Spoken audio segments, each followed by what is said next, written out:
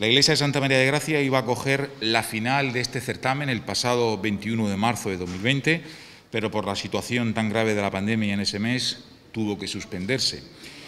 Sí pudimos, antes de decretarse el confinamiento, realizar las semifinales del concurso en el mes de febrero, por lo que este año celebraremos únicamente lo que corresponde, la fase final del concurso.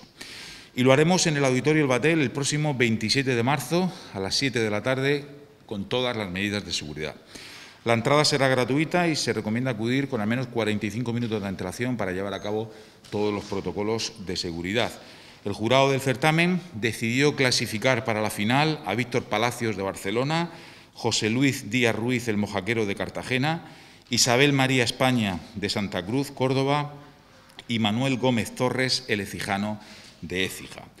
El concurso nacional de saetas de Cartagena está dotado con los siguientes premios. Primer premio dotado con 2.100 euros y trofeo realizado por el escultor Fernando Sáenz de Lorrieta. Segundo premio dotado con 1.050 euros y trofeo de la agrupación Nuestro Padre Jesús Nazareno. Y tercer premio dotado con 750 euros e imagen de la piedad de la agrupación de la Santísima Virgen de la Piedad.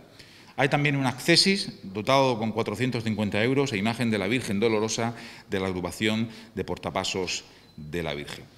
Que es un concurso nacional que nació de forma muy tímida, pero poco a poco eh, ha ido cogiendo empuje, gracias sobre todo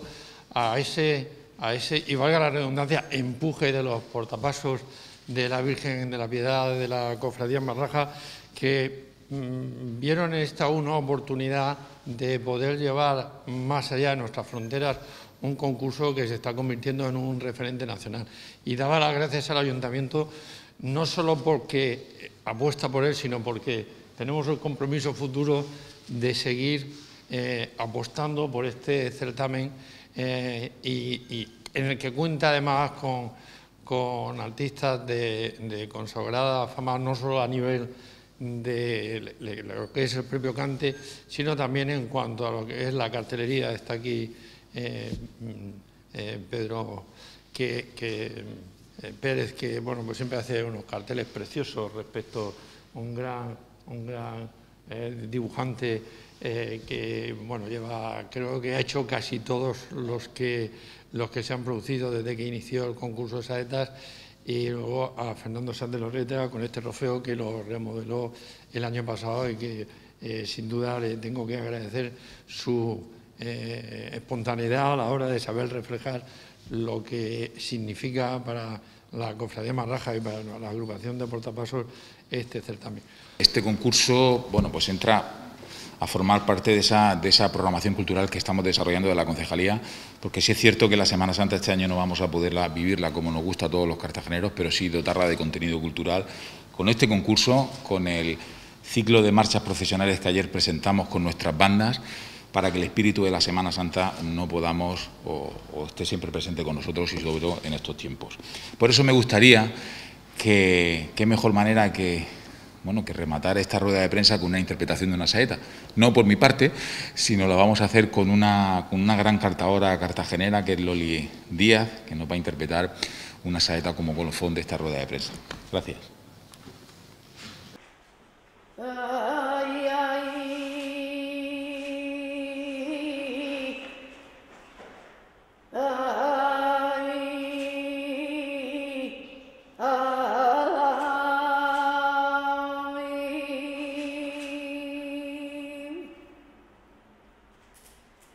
mar mía, ay, madre mía. Ah,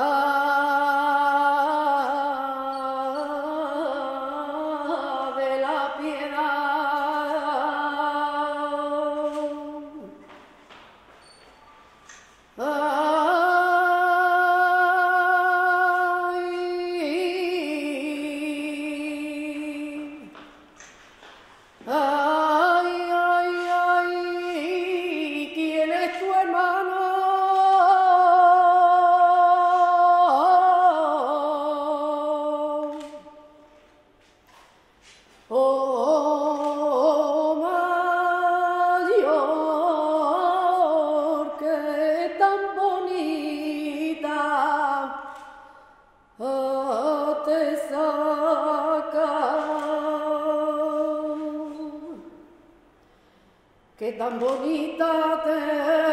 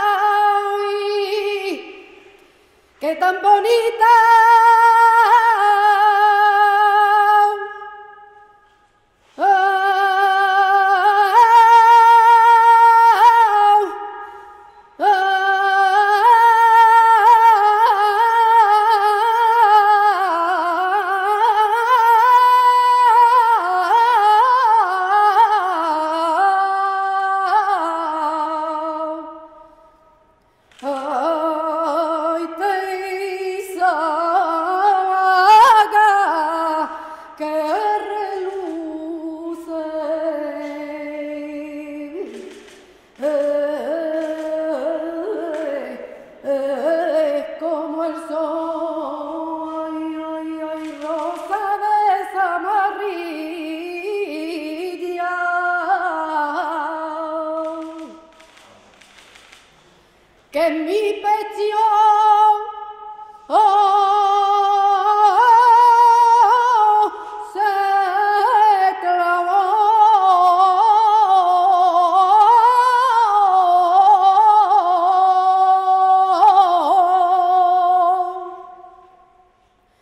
Como tu lo